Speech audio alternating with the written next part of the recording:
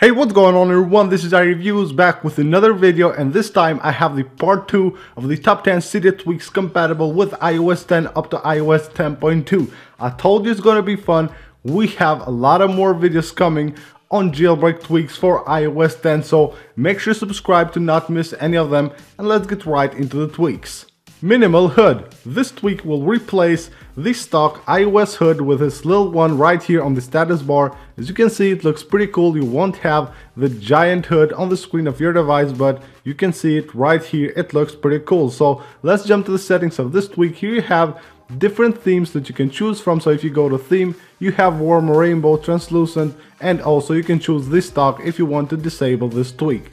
MootumLS. This tweak will add this nice little battery widget on the lock screen of your device. So here on the left side of the clock, you will have your battery indicator, which looks pretty cool. So let's jump to the settings of this tweak. Here we have an enable button, then you have a slider here with which you can change the position of the date and the time on the lock screen of your device. Camera Shy. This is another lock screen tweak which will add this little camera indicator on the lock screen of your device. So normally here you wouldn't see the camera indicator, you will see this, just the dots here on the lock screen of your device. But this little tweak will add this button here. It looks pretty cool so you can know where the camera is. Of course you probably know but it's nice to have it right there. To install this tweak you will need to add a repo which you will find in the description of the video. App Color Close. This is a simple tweak but it will add a nice touch to your device. So when you want to delete any of your apps, you can see here the X buttons will take the color of the icon of the apps. So you can see here purple icon, purple X, orange icon, orange X. They look pretty cool. As I said, is a simple tweak, but it looks pretty cool. Toucher. This tweak will add some very cool features to the home button of your iOS 10 device. So here we are on the settings of this tweak. We have an enable button here to enable or disable the tweak. Then you can choose if you want to disable it on any of your apps. Then right here we have the gestures. So you can press, you don't need to push the home button, just press it. You can press once to go to the home screen, you can double press to go to the app switcher or you can go ahead and triple press to take a screenshot. This is pretty cool. So you have a few other gestures here so you can hold to go to the last app, press and hold to lock your device or press and slide in to go back on an app. So if you go to one of these gestures here you can choose which action you want to perform using that gesture. Always first swipe. You know when you're on full screen mode you will have to swipe twice to open the control center or the notification center. But with this tweak, all you have to do is just swipe once. Now this can be annoying sometimes. You might launch the control center or notification center while you're playing a game or doing something on full screen mode, but some people find annoying that they will have to swipe twice to open the control center or notification center so you can go ahead and install this free tweak it's called always first swipe.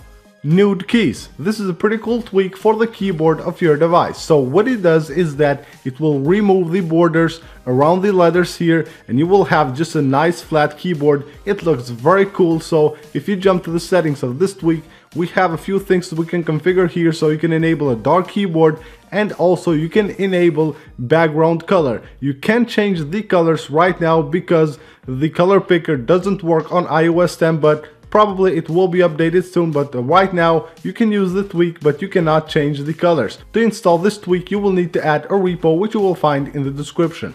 Power down. This tweak will add some extra buttons on the power down menu of your device. So now when you go to the power down menu, you won't have just one button, but you will have four of them. So you have slide to power off, slide to reboot, slide to respring, and also slide to go to the safe mode. Safari full URL. This is a simple tweak for the Safari app and what it does is that it will show you the full URL of a website here on the bar of Safari so normally you would have this URL shortened but with this tweak you will have the full URL.